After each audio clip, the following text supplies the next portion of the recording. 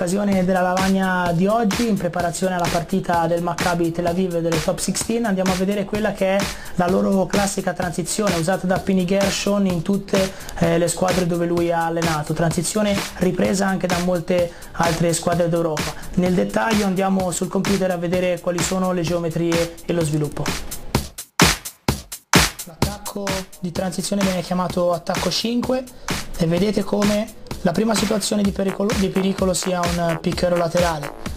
Con 5 o con 4 con le spaziature di tutti e tre i giocatori restanti esterni con tutto questo spazio per attaccare con il bloccante. Vedete che in questo caso sia i giocatori Fischer o Lampe hanno grande capacità di attaccare il ferro. In questo caso Blutenthal molto più pericoloso fuori dai tre punti che arrolla il canestro. Il passatore in questo caso era l'altro numero 5 vedete adesso la stessa spaziatura di prima ma la continuità. La palla che va in posizione di gomito fuori all'arco tre punti per innescare. Questo gioco di backdoor e successivamente un gioco di picchero laterale per una continuità che potrebbe andare avanti all'infinito. Picchero laterale palla in post alto backdoor ancora picchero laterale. Ancora questo giocatore che sale per creare l'ennesimo triangolo. Pini Gershon ha in mente mille geometrie quindi andiamo a vedere come continuano ad andare avanti e vedete che adesso alla fine continuando a giocare la situazione di pericolo diventa questo blocco cieco per la guardia, tre punti di Wisniewski, grandissimo tiratore piazzato. L'ultima situazione, rivista in molte loro partite, ancora una situazione di transizione ma con due pick and roll consecutivi. Adesso Blutenthal che oltre ad avere pericolosità interna, anche pericolosità, scusate, esterna, anche pericolosità interna attaccando i cambi, ma la cosa principale è i due pick and roll consecutivi. Pick and roll del 4 e pick and roll centrale del 5. E questa situazione sicuramente è la più pericolosa di tutte. Blutenthal fuori all'arco dei tre punti con molto spazio per tirare. Andiamo adesso a vedere sulla lavagna quali sono le geometrie e soprattutto quali sono gli obiettivi chiave che noi dobbiamo cercare di togliere per eh, cercare di negare quelle che sono le eh, situazioni più eh, importanti e fondamentali per il loro attacco.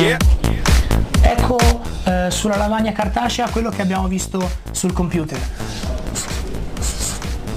Il playmaker che prende la corsia laterale, il picker laterale con questo giocatore che libera l'area e questo giocatore che arrivando alla transizione spesso un grande tiratore che si ferma in questa posizione. Picker laterale ed è il primo pericolo che abbiamo visto ma soprattutto andando avanti con il gioco vediamo che la situazione chiave sarà questa. Backdoor aggressivo per ricevere rimpiazzo Secondo pick and roll o pick and pop per Blutenthal per tirare. In questa situazione, come avete visto prima, il cieco per il tiratore, per avere un tiro aperto, un passaggio al backdoor, un passaggio al pick and pop. Successivamente invece rispetto a quello che avete visto prima sul video, il gioco per far tirare da tre punti un, un tiratore come Blutenthal. Due blocchi consecutivi. Sempre nello stesso modo andare o stare pick and pop sul clear out per far tirare questo giocatore. Pick and roll centrale per aprire l'area con tutto questo spazio di campo per Blutenthal per pulire con il suo mortifero tiro da tre punti oppure mettere la palla a terra. Sappiamo che quella sarà sicuramente una chiave della nostra eh, difesa da, da migliorare. Blutenthal deve essere assolutamente tolto dal sistema d'attacco